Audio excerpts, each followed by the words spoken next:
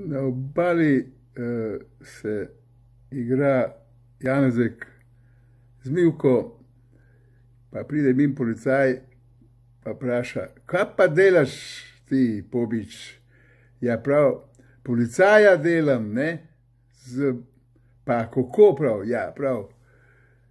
Mal milke, mal peska, mal vode in drek.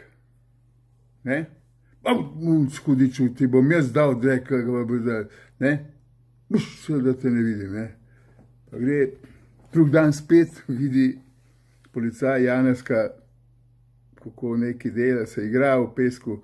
Prav, ja, kaj delaš? Je rekel, carinika, ja, uh, kako pa, ja, prav, malo peska, malo vode, ne?